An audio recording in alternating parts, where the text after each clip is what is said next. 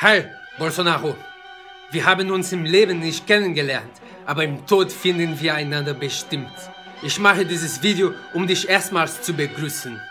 Ich kannte dich gar nicht, aber als ich von dir gelesen habe, konnte ich wieder Hoffnung finden.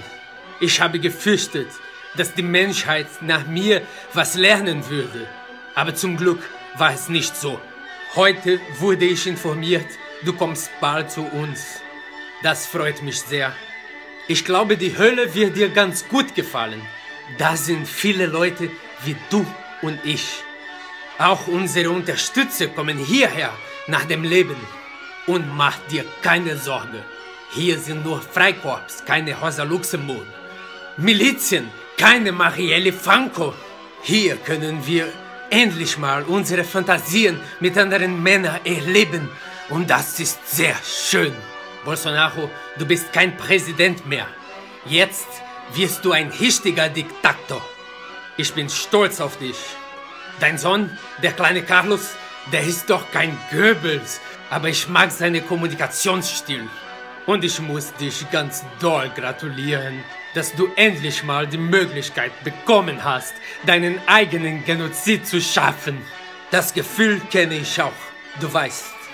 Ich muss dir aber darauf hinweisen, dieses andere Gefühl, das, was wir mit Massenmord von uns beseitigen wollen, das Gefühl wird bleiben. Für ewig wird's da sein. Die Menschen haben uns unterschätzt, aber wir zeigen der Menschheit unseren Wert. Bolsonaro, ich freue mich auf dich. Dein Platz hier unten ist schon beheizt. Nun du fehlst. Hast du nicht gewusst?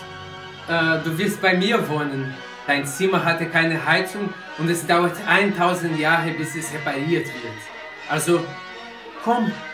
Bis dahin haben wir viele Zeit, über unsere Kämpfe zu unterhalten. Unser Kampf gegen das System. Unser Kampf gegen allem und alles. Aber vor allem unser Kampf gegen wir selbst und was wir im Laufe unserer Leben geworden sind. Dein Adolf.